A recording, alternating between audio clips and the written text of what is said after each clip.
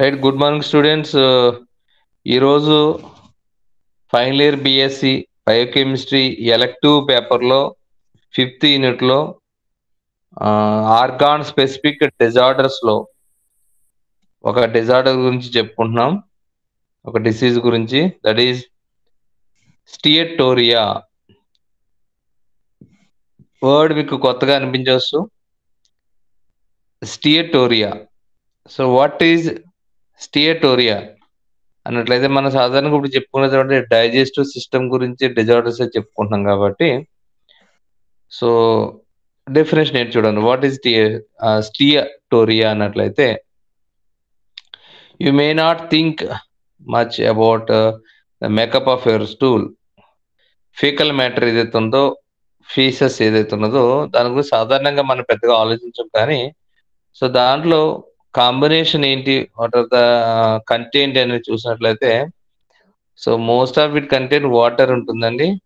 So వాటర్తో పాటుగా bacteria fat fibre mucus proteins salts అలాగే various cell linings intestinal cell linings ఇవన్నీ ఉంటాయి.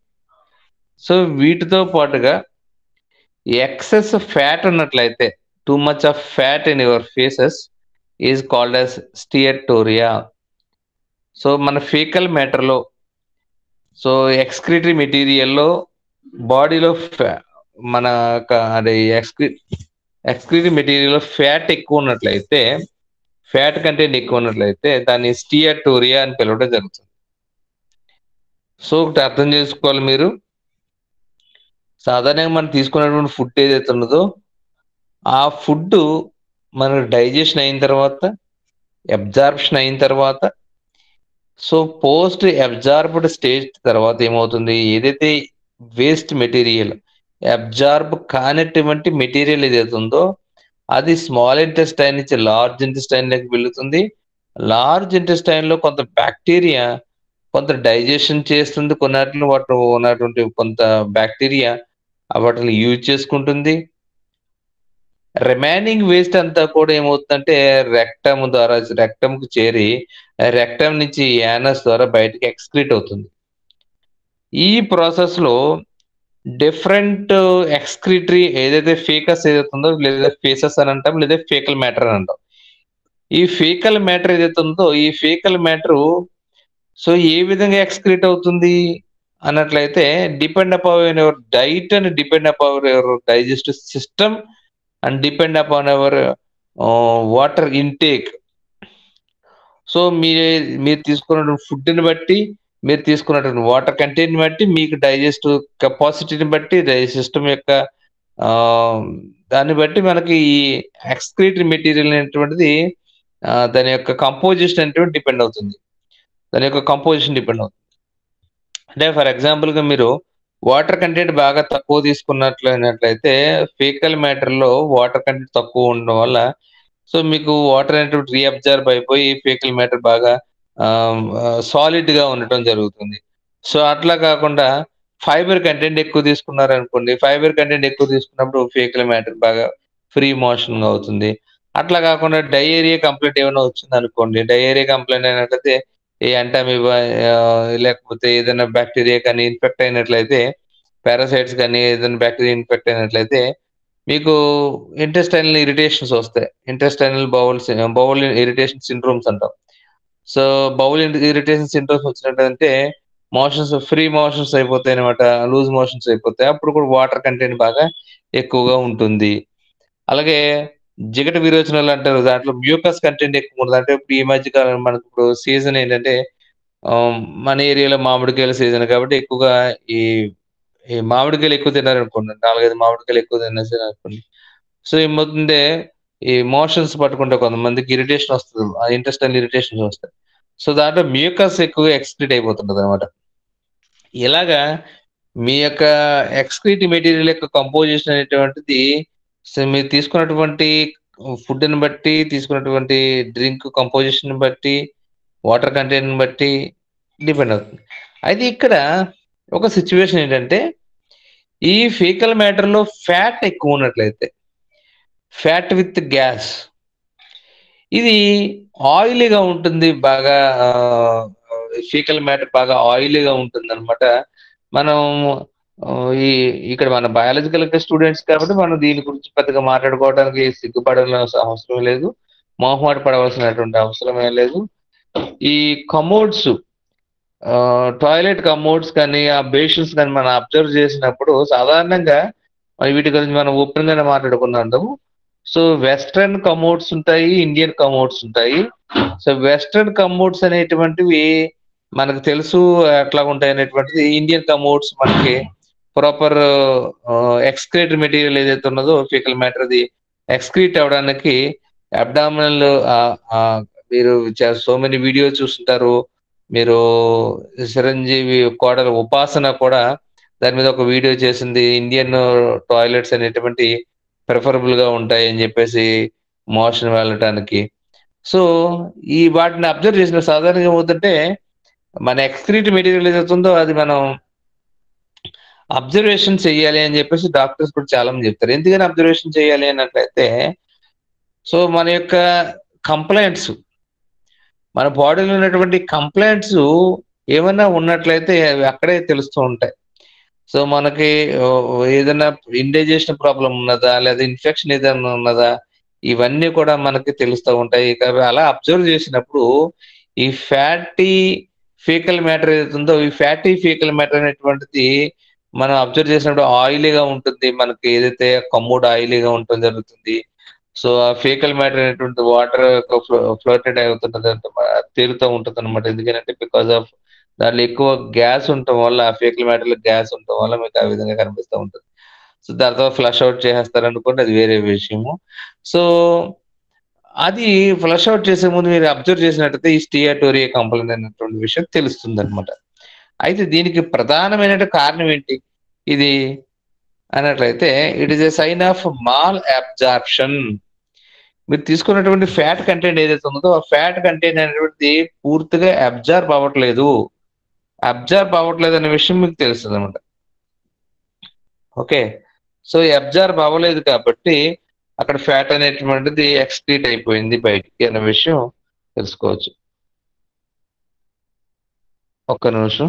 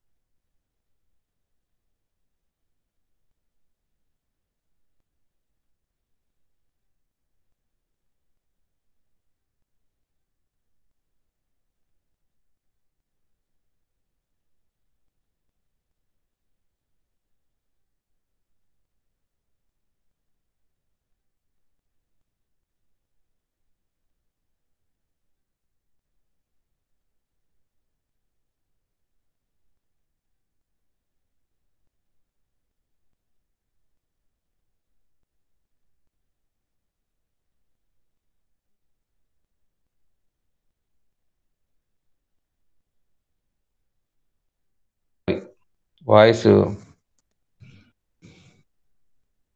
మైక్రోఫోన్ ఆన్‌లో లేదు. ఒకసారి ఇప్పుడు నేను సో, ఇప్పుడు స్టియటోరియా అనేటువంటిది కంప్లైంట్ మనకి ఇది ఎప్పుడు వస్తుందా? లేదా ఇది ఒక పెద్ద డిసీజ్ అని అబ్జర్వ్ చేసినట్లయితే ఇట్ ఇస్ నాట్ డిసీజ్ అండి. ఇది ఏంటంటే ఒక కండిషన్ అనమాట ఒక మెడికల్ కండిషన్. అంటే ఇది ఫీకల్ మ్యాటర్‌లో ఫ్యాట్ కంటెంట్ ఎక్కువ ఉండటం అనేటువంటిది ఒక మెడికల్ కండిషన్. అది ఎందుకు వస్తుంది ఎందుకు వచ్చింది అనేది మనం అబ్జర్వ్ చేయడాన్ని బట్టి మన యొక్క సివియారిటీ ఉంటుందన్నమాట. అంటే ఫర్ ఎగ్జాంపుల్ మీరు తీసుకున్నటువంటి డైట్‌లో ఎక్కువ ఫ్యాట్ కంటెంట్ తీసుకున్నారు అనుకోండి ఆయిలీ డైట్ తీసుకున్నారు అనుకోండి ఆ రోజు. సో, మరుసటి రోజు ఎక్స్‌క్రీట్ అయ్యేటువంటి మెటీరియల్‌లో so, most most probably fat content ఎక్కువగా ఉంటుంది. ఎందుకంటే మీరు తీసుకున్నటువంటి ఫ్యాట్ కంటెంట్ డైజెషన్ అయిన తర్వాత ఇంకా ఎక్కువ ఉన్నట్లయితే అది అబ్జర్వ్ అవునటువంటి స్టేజ్లో ఉన్నట్లయితే అది ఎక్స్‌క్రీట్ అయిపోతుంది కాబట్టి ఆ విధంగా కనిపించవచ్చు సో, కానీ అదే ప్రాసెస్ డైలీ లైఫ్‌లో మీకు డైలీ స్టియటోరియా కంప్లీట్ కనబడ డైలీ మీ స్టూలు ఆయిలీగా ఉన్నట్లయితే, అది డైలీ కనపడుతున్నట్లయితే, అదే విధంగా డైలీ ఉన్నట్లయితే మనం ఖచ్చితంగా దాన్ని అబ్జర్వ్ చేయాలి. అబ్జర్వ్ చేసి అది సీరియస్గా తీసుకోవాల్సినటువంటి అవసరం ఉన్నది. Okay. So, what are the symptoms symptoms of steatorrhoea అని చూసినట్లయితే stool will be bulkier and pale and foul smelling అన్నమాట. బాగా ఆయిలీ అండ్ ఫోల్ స్మెల్లింగ్ వస్తుంది. Uh, అలాగే మనకి గ్యాస్ కంటెంట్ ఎక్కువ ఉండటం వల్ల అది ఫ్లోటెడ్గా కనబడుతుంది ఆ స్టూల్ అనేటువంటిది. ఓకే. సో, ఈ కంటెంట్స్ సిమ్టమ్స్ మనకు కనిపించినప్పుడు సో, మనం అబ్జర్వ్ చేయాలన్నమాట. అలాగే అదర్ సిమ్టమ్స్ ఇంకా ఏంటి అన్నట్లయితే అబ్డామినల్ క్రమ్స్ అంటే స్టమక్ విపరీతమైన పెయిన్ మెలి తిరిగినట్టుగా మెలి పెట్టేసినట్టుగా అనిపిస్తుందన్నమాట. స్టమక్ అలాగే డయేరియా. మనకి గ్యాస్తో కూడినటువంటి ఆహ్, మీకు ఎక్స్‌క్రీట్ అవుతుందన్నమాట ఫేకస్. ఫ్రీ మోషన్స్ అవుతాయి విత్ గ్యాస్ తోటి. అలాగే ఇన్ ఇండైజెషన్ ప్రాపర్ డైజెషన్ అనేటువంటి జరగదు. అలాగే వెయిట్ లాస్ అవుతూ ఉంటారన్నమాట. అంటే కంప్లైంట్ సీరియస్గా ఉందంటే సీరియస్గా ఉండి డైలీ ఇదే కంప్లైంట్ మీరు అబ్జర్వ్ చేసినట్టయితే ఈ ఈ ఈ సింప్టమ్స్ కనపడతా ఉంటాయన్నమాట. Okay. So, what are the causes? Causes ఏంటి? కారణాలు ఏంటి అన్నట్లయితే సో, ఫస్ట్ వన్ ఏంటంటే సిస్టిక్ ఫైబ్రోసిస్. సిస్టిక్ ఫైబ్రోసిస్ అనేది మనకి హెరిడిటరీ డిజార్డర్ చెప్పాను మీకు ఆల్రెడీ ఇది. సో, ఇది ఏమవుతుందంటే మీకు మ్యూకస్ లేయర్ ఏదైతే ఉందో అది లంగ్స్ కావచ్చు, ఇంటెస్టైనల్ కావచ్చు, డై ఎక్స్‌క్రీట్ బైల్ డక్ట్ కావచ్చు, ప్యాంక్రియాటిక్ డక్ట్ కావచ్చు. అక్కడ మ్యూకస్ లేయర్ ఎక్కువ ఉండిపోవటం వల్ల బ్లాకేజ్ బ్లాకేజ్ అవుతాయి అవుతాయన్నమాట. బ్లాకేజెస్ ఫామ్ అవుతాయి. సో, ప్యాంక్రియాటిక్ డక్ట్ నుంచి వచ్చేటువంటి ప్యాంక్రియాటిక్ జ్యూస్ ప్రాపర్‌గా రాకపోవడం వల్ల, అలాగే బైల్ జ్యూస్ ప్రాపర్‌గా ఆహ్, డియోడెనమ్‌కి చేరుకుపోవడం వల్ల ఇండైజెషన్ ప్రాబ్లమ్స్ వస్తాయి. దాని ద్వారా కూడా కంప్లైంట్ మనకు సిస్టిక్ ఫైబ్రోసిస్ కండిషన్‌లో కూడా కనపడుతుంది. అలాగే ప్యాంక్రియాటైటిస్ నేను ఎక్స్టర్డే క్లాసెస్ చెప్పుకున్నాం ప్యాంక్రియాటైటిస్ అనేటువంటిది. సో, ప్యాంక్రియాటైటిస్‌లో ప్యాంక్రియాటిక్ ఇన్ఫెక్షన్స్, ప్యాంక్రియాటిక్ సిస్ట్‌లు ఫార్మ్ అవడం వల్ల ప్యాంక్రియాటిక్ జ్యూస్ అనేటువంటిది ప్రాపర్గా రిలీజ్ కాదు. అలాగే bile juice, bile juice, pancreatic juice combine అయ్యి డ్యూడన్ రిలీజ్ అవుతుంది కాబట్టి కామన్ హెపటో ప్యాంక్రియాటిక్ డక్ట్‌లో బ్లాకేజెస్ ఫార్మ్ అవ్వడం వల్ల కూడా ప్రాపర్ ఫ్యాట్ డైజెషన్ జరగదు. అప్పుడు కూడా మాల్ అబ్జర్ప్షన్ అబ్జర్వ్ చేస్తారు. అటువంటిప్పుడు కూడా ఫ్యాట్ కూడా ఫెహికల్ మ్యాటర్లో కలిసి బయటకి ఎక్స్‌క్రీట్ అయిపోతుంది. అప్పుడు కూడా స్టియటోరియా కంప్లైంట్ మనకు కనపడుతుంది. అలాగే ఈ పక్కన అబ్జర్వ్ చేయండి మిల్క్ కనబడుతుంది దాన్ని ఏంటంటే లాక్టోజ్ ఇంటాలరెన్స్ అంటాం. చాలా మందికి కంప్లైంట్ కనబడుతుంది lactose intolerance. So, lactose intolerance ఏంటంటే లాక్టేజ్ ఎంజైమ్ వాళ్ళకి డెఫిషియన్సీ ఉంటుంది కాబట్టి లాక్టోజ్ ఇంటాలరెన్స్ కనబడుతుంది అటువంటి వాళ్ళు మిల్క్ని ఇష్టపడరు. కాకపోతే మిల్క్ ప్రొడక్ట్స్ కానీ మిల్క్‌తో కూడినటువంటి లాక్టోజ్ ఉన్నటువంటి ఏదైనా అదర్ ప్రొడక్ట్స్ వాళ్ళు బలవంతంగా తీసుకున్నప్పుడు కూడా ఈ స్టియటోరియా కంప్లైంట్ మనకు కనపడుతుంది. అలాగే ఈ బైలరీ ఎస్ట్రియా. సో, ఎస్టరేసియా అన్నట్లయితే అంటే డక్ట్ అయిపోతుంది అన్నమాట so, different type of factories వల్ల ఈ డక్ట్ అక్కడ ఏది బైల్ డక్ట్. ఈ బైల్ అక్కడ అక్కడక్కడ నొక్కు పడిపోవడం వల్ల ష్రింక్ అయిపోవడం వల్ల డయామీటర్ తగ్గిపోవడం వల్ల కూడా బయలు జ్యూస్ ప్రాపర్‌గా ఎక్స్‌క్రీట్ కాదు కాబట్టి అటువంటప్పుడు కూడా మనకి స్టియటోరియా అనేటువంటి కంప్లైంట్ కనపడుతుంది. అలాగే coeliac diseases. So, coeliac diseases అంటే మనకి మనకు తెలుసు గ్లూటిన్ అని చెప్పేసి ఒక ప్రోటీన్ ఉంటదన్నమాట. ఇది ఇండైజెషన్ అయ్యేటువంటి ప్రోటీన్ ఇది ప్రాపర్గా డైజెషన్ అవ్వదు. అటువంటి ప్రోటీన్ మనం తీసుకున్నప్పుడు వీట్ ఫ్లోర్‌లో ఎక్కువ అనమాట అటువంటి ప్రోటీన్ తీసుకున్నప్పుడు కొంతమందికి ఇరిటేషన్ వస్తదన్నమాట. ఆ ప్రోటీన్ కొంతమందికి ఇంటాలరెన్స్ ఉంటది. ఆ ప్రోటీన్ ఉన్నప్పుడు ఆ పేషెంట్స్లో మనకి ఏమవుతుందంటే సీలిగా కనబడుతుంది చూడండి మీకు ఇంటెస్టైన్లో అబ్జార్బ్ అయ్యేటువంటి మెటీరియల్ ఏదైతే ఉన్నదో, అబ్జార్బ్ చేసుకునేటువంటి ఇంటెస్టైన్ లెక్క లేయర్ ఏదైతే ఉందో ఇది కొంచెం హెల్దీ లేయర్ ఎలా కనపడుతుంది మనకి హెల్దీగా ఉన్నటువంటి లేయరు ఈ విధంగా కనపడుతుంది వెళ్ళాయి అంటాం కదా! ఇవన్నీ కూడా అబ్జర్వ్ చేసుకునేటువంటి సెల్స్ అన్నమాట ఈ ఇవన్నీ కూడా హెల్దీగా ఉంటాయి. కానీ సీలిక్ డిసీజ్ వచ్చిన వాళ్ళకి ఏంటంటే ఇలాగా పైకి ఉండవలసినటువంటి విల్లై డౌన్ అయిపోతుంటాయి అనమాట అవి ఏమవుతాయంటే ఎట్రోపీ అంటాం. కట్ అయిపోతాయన్నమాట. ఇది ఎలాగా మన పైకి వస్తున్నటువంటి మొక్కలు అలా కట్ చేస్తే అలా అయిపోతే ఆ విధంగా ఎట్రోపీ కండిషన్ వస్తుందన్నమాట. అప్పుడు ఏమవుతుంది? అబ్జార్బ్ అయ్యేటువంటి కెపాసిటీ తగ్గిపోతుంది. అబ్జర్వ్ అవ్వాల్సినటువంటి కెపాసిటీ తగ్గిపోతుందన్నమాట. అటువంటి వాళ్ళకి కూడా ఈ స్టియాటోరీ కంప్లైంట్ మనకు కనపడుతుందన్నమాట. అలాగే ఇంకా ఏంటంటే వైపిల్ డిసీజ్. వైపిల్ డిసీజ్ అంటే వైపిల్స్ అనేటువంటి కొన్ని బ్యాక్టీరియాస్ రేర్ బ్యాక్టీరియాస్ ఇన్ఫెక్ట్ అయినప్పుడు కూడా ఈ స్టియాటోరీ అనేటువంటిది ఇంటెస్టైన్లో అలాగే క్రాన్స్ డిసీజ్. సో వీళ్ళకేంటంటే ఇది కూడా ఒక జెటికల్ డిజార్డరు. సో ఇది ఏంటంటే ఈ ఇంటెస్టైన్ ఏదైతే ఇక్కడ ఇన్‌ఫ్లమేషన్ వస్తాం ఇంటెస్టైన్ ఇన్‌ఫ్లమేషన్స్ వస్తాయి. సో ఆ ఇంటెస్టైన్ ఇన్‌ఫ్లమేషన్స్ వచ్చినప్పుడు కూడా ఈ స్టియాటోరీ కంప్లైంట్ మనకి కనపడుతూ ఉంటదన్నమాట. Okay. So what are the diagnosis methods? So స్టీ నాకు వచ్చినటువంటి స్టియాటోరియానా?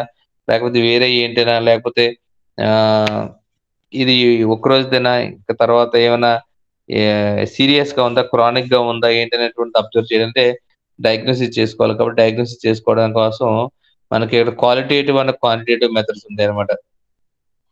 సో ఫీకల్ మ్యాటర్ ఏదైతే ఉన్నదో ఆ ఫీకల్ మ్యాటర్‌ని సుమారుగా 70 అంటే 2-4 డేస్ ఫీకల్ మ్యాటర్‌ని డైలీ కూడా దాన్ని క్వాంటిటేటివ్‌లో అబ్జర్వ్ చేయాలన్నమాట.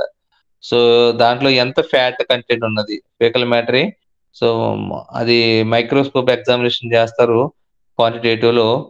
క్వాలిటేటివ్‌లో మనకొచ్చినప్పటికి ఎంత ఫ్యాట్ ఉన్నది? సో ఎంత ఫ్యాట్ కంటెంట్ ఉన్నది? ఎన్ని మైక్రోస్కోప్ అబ్జర్వ్ అబ్జర్వేషన్ చేసినప్పుడు ఆయిలీ డ్రాప్‌లెట్ డ్రాప్‌లెట్స్ ఎన్నున్నాయి? సో సాధారణంగా ఒక 50 డ్రాప్‌లెట్స్, 100 డ్రాప్‌లెట్స్ అలా కనపడతా ఉంటాయి. ఈ స్టియాటోరియా కంప్లైంట్ ఉన్నటువంటి ఆయిల్ డ్రాప్‌లెట్స్ స్లైడ్‌లో. అలాగే ఫ్యాట్ కంటెంట్ ఎంత ఉన్నది ఒక సాధారణంగా ఒక ఫోర్ గ్రామ్స్ అలా ఉండాలి ఫ్యాట్ కంటెంట్. అంతకంటే ఎక్కువ ఉన్నట్లయితే స్టియేటోరియాలో సుమారుగా 20 గ్రామ్స్ అట్లా కనపడ కనబడుతుందన్నమాట ఫ్యాట్ కంటెంట్ అనేట్లు అలాగే మనకి జైలోజ్ అనేటువంటిది మనకి అది ఇస్తుంటారు మనకి జైలోజ్ తీసుకో మనం తీసుకోవాలన్నమాట. డీజైలోజ్. ఇది లిక్విడ్ ఫార్మ్‌లో ఉంటుంది. ఆ డీజే జైలోజ్ తీసుకున్న తర్వాత ఆహ్, మనం బ్లడ్ శాంపిల్‌ని అలాగే యూరిన్ శాంపిల్‌ని ఇవ్వడం జరుగుతుంది. So blood sample, urine sample ఇచ్చినప్పుడు అది యూరిన్ ఎక్స్‌క్రీట్ అవుతుందా? అనేటువంటిది అలా బ్లడ్‌లో ఎంతున్నది అనేటువంటిది అబ్జర్వ్ చేస్తే అది మాల్ అబ్జార్ప్షన్ స్టేట్ అనేది మనకు తెలుస్తుంది సో జైలోజు అబ్జర్వ్ అవుతుందా? లేదా ఎక్స్‌క్రీట్ అయిపోతుందా బయటికి అనేటువంటి విషయం అక్కడ తెలుస్తూ ఉంటుంది దాన్ని బట్టి కూడా అక్కడ malabsorption condition steatorrhoea malabsorption condition వల్ల వచ్చిందన్న విషయం ఐడెంటిఫై అవుతుంది. డయాగ్నోసిస్ అవుతుందన్నమాట. అలాగే ట్రీట్మెంట్ ఏంటి? సో డాక్టర్ మనం కలిసి ట్రీట్మెంట్ చేసుకోవాల్సింది ఏంటి అన్నట్లయితే depend upon the condition and next year to steatorrhoea వచ్చినటువంటి కండిషన్ ఏంటి? మా యొక్క సిమ్టమ్స్ ఏంటి అనేది బట్టి ఇక్కడ ట్రీట్మెంట్ డిపెండ్ అవుతుంది. సో ఫర్ ఎగ్జాంపుల్‌గా మనం పెద్దగా సీరియస్ కాకుండా జనరల్ జనరల్‌గా ఫ్యాట్ కంటెంట్ ఎక్కువ తీసుకోవడం వల్ల వచ్చిందనుకోండి అది. సో ఆ రోజుతో అయిపోతుంది కంప్లైంట్ సో మనం ఫ్యాట్ తక్కువ ఉన్నటువంటి డైట్ తీసుకోవడం గురించి ఆలోచిస్తాం. అలాగే లాక్టోజ్ ఇంటాలరెన్స్ వల్ల వచ్చిందనుకోండి స్టియాటోరియా. సో మిల్క్ ప్రొడక్ట్స్, లాక్టోజ్కు సంబంధించిన ప్రొడక్ట్స్ మనం అవాయిడ్ చేస్తాం. సో అలా కాకుండా ఏదైనా స్పెసిఫిక్ ఫుడ్ ఐటమ్స్ వల్ల ఇరిటేషన్ వచ్చి దానివల్ల ఈ స్ట్రియటోరియా కంప్లైంట్ కనిపించినప్పుడు ఆ స్పెసిఫిక్ ఫుడ్ ఐటమ్స్ మనం అవాయిడ్ చేయడం జరుగుతుంది. అలాగే డైట్ ప్లాన్ చేసుకోవడం జరుగుతుంది. సో అలా కాదు ఈ కంప్లైంట్ అనేటువంటిది ప్యాంక్రియాటైటిస్ వల్ల వచ్చింది. తర్వాత ఏం చేస్తాం స్కానింగ్ అయి చేస్తాము. స్కానింగ్, అల్ట్రాసౌండ్ స్కానింగ్, ఎండోస్కోపీ ఇవన్నీ చేసినప్పుడు బయటపడతాయి ప్యాంక్రియాటైటిస్ వల్ల వచ్చింది స్టియాటోరియా. సో ట్రీట్మెంట్ దేనికి వెళ్తుంది మనకి ప్యాంక్రియాటైటిస్ ట్రీట్మెంట్ చేస్తారు. అంటే ప్యాంక్రియాటిక్ సంబంధించిన ట్రీట్మెంట్ చేస్తారు. అలాగే బైల్ డక్ట్‌లో అబ్జర్వ్ అబ్జర్వ్ మనకి దాని ఏమంటే అబ్స్ట్రాక్షన్ వచ్చింది. సో గాల్ స్టోన్స్ వల్ల అబ్స్ట్రాక్షన్ వచ్చింది. దానివల్ల స్టియాటోరియా కంప్లైంట్ వచ్చింది. సో దానివల్ల ఏం చేస్తారు గాల్ స్టోన్స్ రిమూవ్ చేయటం, లేదంటే గాల్ బ్లాడర్‌ని రిమూవ్ చేయటం ఇవన్నీ చేస్తారు ప్రాసెస్లో అలాగే సిస్టిక్ ఫైబ్రోసిస్ వల్ల ఆహ్, స్టియాటోరియా అయినప్పుడు దానికి సంబంధించిన ట్రీట్మెంట్ చేస్తారు. అంటే కాజెస్ ఏంటి అనే దాన్ని బట్టి ఈ ట్రీట్మెంట్ అనేది డిపెండ్ అవుతుంది that is about the steatorrhoea so దీని గురించి క్లియర్గా అర్థమైందని అనుకుంటే ఈ మెటీరియల్ కూడా చూడండి దీన్ని బట్టి మీకు క్లాసెస్ అర్థమవుతాయి so next coming to the second topic gallstones gallstones మీకు ఇమేజ్లో కనపడుతుంది. సో అక్కడ ఉన్నటువంటి లివరు లివర్ పక్కన గ్రీన్ కలర్లో ఉన్నటువంటిది.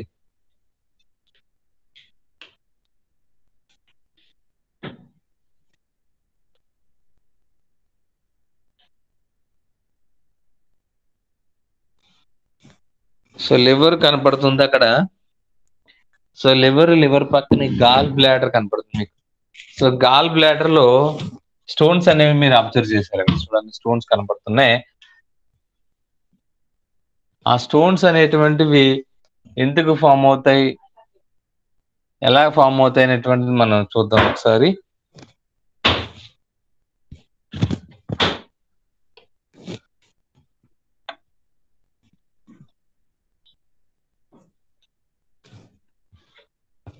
స్టోన్స్ అనేటువంటివి ఎక్కువగా కొలెస్ట్రాల్ స్టోన్స్ అనేటువంటి ఎక్కువగా ఫామ్ అవడం జరుగుతుంది.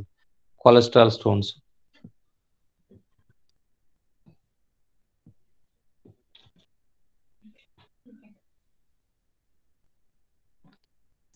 కొలెస్ట్రాల్ స్టోన్స్ అనేటువంటి ఫామ్ అవడం జరిగింది ఒక్క నిమిషం నేను నేను మళ్ళీ కనెక్ట్ అవుతాను. జస్ట్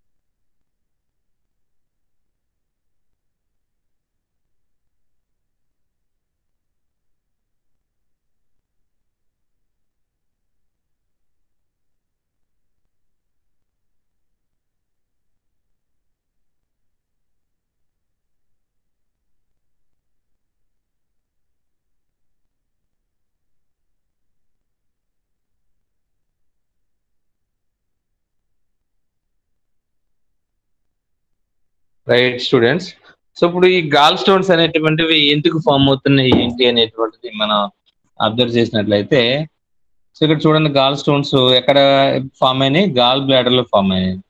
ఇవి ఈ డక్ట్ ద్వారా బయ వస్తున్నప్పుడు ఇక్కడ ఇక్కడ చూడండి గాల్ స్టోన్ ఇక్కడ ఇక్కడ అడ్డుకున్నది.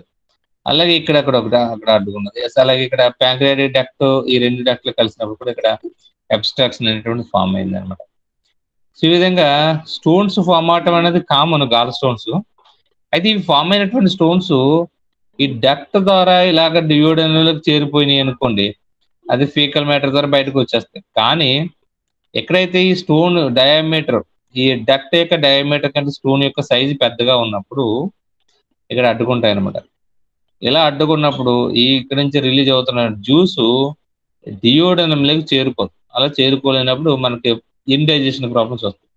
ఇందాక చెప్పుకున్నటువంటి స్టియాటోరియా కంప్లైంట్కి కారణం one of the reason gallstones కూడా అవడానికి అవకాశం ఉందన్నమాట ఓకే సో చూడండి ఇది సర్జరీ చేసినటువంటి గాల్ బ్లాడర్ ఇది.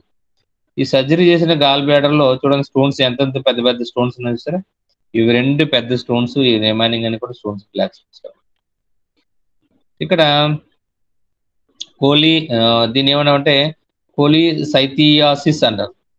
కోలి లైత్ కోలి లిథియాసిస్ అని పిలుస్తారు లిథియాసిస్.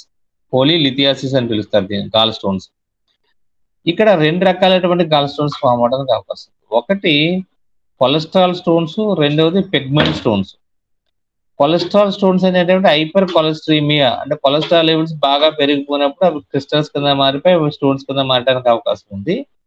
అవి కొలెస్ట్రాల్ స్టోన్స్ రెండవది పెగ్మెంట్ స్టోన్స్ పెగ్మెంట్ స్టోన్ అంటే బయల్ పెగ్మెంట్స్ అనమాట ఈ హిమోగ్లోబిన్ డిగ్రేడ్ అవుట్ ఎక్సెస్ ఎక్సెస్గా డిగ్రేడ్ అవుతున్నప్పుడు ఈ బిలిరుబిన్ పిగ్మెంట్స్ ఎక్కువగా ఎక్స్క్రీట్ అవుతున్నట్లయితే అవి పిగ్మెంట్స్ అనేటువంటి స్టోన్స్ కింద మారడానికి అవకాశం ఉంది. వాటిని పిగ్మెంట్ స్టోన్స్ అని పిలుస్తారు. Okay? So what are the symptoms అని చూసినట్లయితే pain in upper right abdomen so upper right abdomen ఎక్కడైతే గాల్ గాల్ బ్లాడర్ ఉంటుందో ఆ గాల్ గాల్ బ్లాడర్ ఉన్నటువంటి ఏరియాలో ఎక్కడైతే పెయిన్ వస్తుంది అలాగే pain below the right shoulder ఈ ఏరియాలో పెయిన్ ఎక్కువ వస్తుంది. రైట్ షోల్డర్ ఏరియాలో పెయిన్ ఎక్కువ వస్తుంది. అలాగే నాసియార్ వామిటింగ్ సెన్సేషన్ ఇకారం ఉంటుంది వామితలు అవడానికి అవకాశం ఉంటుంది. Pain between the shoulder blades ఈ షోల్డర్ బ్లేడ్స్ మధ్యలో కూడా పెయిన్ అనేటువంటి రావడం జరుగుతుంది. అలాగే ఫీవర్ అబ్జర్వ్ చేస్తారు. జాండిస్ సో బయల్ పిగ్మెంట్ వల్ల పిగ్మెంట్ స్టోన్స్ ఫామ్ అయిన అనుకోండి జాండిస్ అబ్జర్వ్ చేయొచ్చు జాండిస్ అలాగే అబ్డామ్ అబ్డామినల్ పెయిన్ అబ్డామినల్ పెయిన్ వస్తుంది అన్నమాట పొట్టలో విపరీతమైన మంట వస్తుంది. అలాగే ఈ కారం ఉంటుంది. ఓకే ఇందాక చెప్పినట్టు steatorrhoea one of the symptom కూడా కనబడుతుంది. ఓకే సో దీనికి కారణాలు ఏంటి అని అంటే excess of cholesterol. So cholesterol ఎక్కువగా ఉండటం వల్ల ఒకటి కావచ్చు జెనెటికల్ ఫ్యాక్టర్స్ కావచ్చు హెరిడిటరీగా కూడా రావడానికి అవకాశం ఉంది. అలాగే ఒబిసిటీ సో ఓవర్ వెయిట్ ఉండటం వల్ల కూడా ఈ గాల్ స్టోన్స్ అనేవి ఫామ్ అవడానికి అవకాశం అలాగే ర్యాపిడ్ వెయిట్ లాస్ సో విపరీతమైన వెయిట్ లాస్ కోసం రకరకాల మెడికేషన్స్ ఉపయోగించడం రకరకాల ఫుడ్ ఐటమ్స్ డైట్ ప్లానింగ్ వీటిలో కూడా ర్యాపిడ్గా తక్కువ టైంలో మనం బరువు తగ్గించుకోవాలని చేసే ప్రయత్నాల్లో కూడా ఈ గాల్ స్టోన్స్ రావడానికి అవకాశం ఉంది. గాల్ స్టోన్స్ చెప్పిన ఆల్రెడీ టైప్స్ మీకు కొలెస్ట్రాల్ స్టోన్స్ పిగ్మెంట్ స్టోన్స్ అనేటువంటి. Okay so what are the medical complications అన్నట్లయితే మీకు గాల్ స్టోన్స్ వచ్చినట్లయితే కాంప్లికేషన్స్ ఏంటి అని అబ్జర్వ్ చేసినట్లయితే ఒకటి బైల్ డక్ట్లో అవి అబ్స్ట్రాక్షన్ వచ్చి అడ్డుకోవడం వల్ల బైల్ జ్యూస్ అనేటువంటి ఇంటెస్టైన్ ఎక్స్క్రీట్ కాదు సెక్రీట్ కాదు కాబట్టి ఇన్ డైజెషన్ ప్రాబ్లమ్స్ వస్తాయి. ప్రాపర్గా ఫ్యాట్ డైజెస్ట్ అవుతుంది మాల్ అబ్జర్ప్షన్ ప్రాబ్లమ్ వస్తాయి. స్టియేటోరియా కంప్లైంట్ వస్తుంది. అలాగే ప్యాంక్రియాటిక్ డక్ట్లో అబ్స్ట్రాక్షన్స్ వచ్చేసినాయి అనుకోండి. అప్పుడు ప్యాంక్రియాటైటిస్ రావడానికి అవకాశం ఉంది. సిస్టులు ఫామ్ అవడానికి అవకాశం ఉంది. లివర్ ఎన్లాజ్మెంట్ అవడానికి అవకాశం ఉంది. ఎప్పుడో మెగాలి రావడానికి అవకాశం ఉంది. ఇవన్నీ కూడా మెడికల్ కాంప్లికేషన్స్ ప్రాపర్ మనకి treatment చేయనట్లయితే. So what are the diagnosis method అన్నట్లయితే ఒకటి ultrasound scanning CT MRI scanning అలాగే ఎండోస్కోపిక్ ఎండోస్కోప్ అల్ట్రాసౌండ్ స్కానింగ్ అంటాం ఇవన్నీ వాటి ద్వారా ట్రీట్మెంట్ మనం డయాగ్నోసిస్ చేసుకోవచ్చు. అలాగే బ్లడ్ ఎగ్జామినేషన్ కూడా చేయొచ్చు అనమాట కొలెస్ట్రాల్ లెవెల్స్ అలాగే బయల్ పిగ్మెంట్ లెవెల్స్ బ్లడ్లో ఏ విధంగా ఉన్నాయటువంటి కూడా మనం డయాగ్నోసిస్ చేయొచ్చు. Next what is the treatment అన్నట్లయితే సో ట్రీట్మెంట్ రెండు రకాలు ఉంటాయి. ఒకటి మెడికేషన్స్. మెడికేషన్స్ ద్వారా గాల్ బ్యాటర్లో ఉన్నటువంటి స్టోన్స్ని మనం కరిగించేటువంటి స్టేజ్లో ఉన్నట్లయితే వాడు కొన్ని మెడికేషన్స్ ద్వారా కరిగించవచ్చు. లేదు కరిగించలేని స్టేజ్లో బాగా ఎక్కువ ఉన్నట్లయితే మనం సర్జరీ ద్వారా గాల్ బ్యాడర్ని రిమూవ్ చేయడం జరుగుతుంది అనమాట సో అది ఓపెన్ సర్జరీ చేయొచ్చు లేదా లాప్రోస్కోపిక్ సర్జరీ చేయొచ్చు. లాప్రోస్కోపిక్ సర్జరీ చేసినట్లయితే గాల్ బ్యాడర్ని ఈజీగా రిమూవ్ చేయొచ్చు. లేదా ఇంకా బాగా సీరియస్గా ఉన్నట్లయితే మనం ఓపెన్ సర్జరీ కూడా చేయడం జరుగుతుంది అనమాట సర్జరీ చేసి మనకు గాల్ బ్లాడర్ ఉన్న స్టోన్స్ కాకుండా గాల్ బ్లాడర్ రిమూవ్ చేస్తారు సాధారణ స్టోన్స్ ఎక్కువ ఉన్నట్లయితే గాల్ బ్లాడర్ని రిమూవ్ చేయడం జరుగుతుంది. డైరెక్ట్గా డక్ట్ని తో కలిపేయడం జరుగుతుంది అనమాట okay this is about the gall stones gall bladder okay so thank you thank you very much అర్థమైందని అనుకుంటున్నాను. మధ్యలో రెండు రెస్పాన్సెస్ వచ్చినాయి. Okay so thank you thank you very much ఏమైనా డౌట్స్ ఉన్నట్లయితే అడగండి. నేను క్లారిఫై చేస్తాను.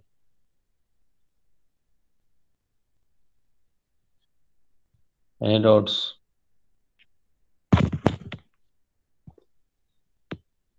ఓకే. డౌట్స్ ఏం లేవా? Srilekha? No, sir. Very good very good Ashadevi? No sir. Okay. Harsha? లేవు సార్. పొనమండ వనిత? వచ్చింది ఈరోజు క్లాస్కి Priyanka?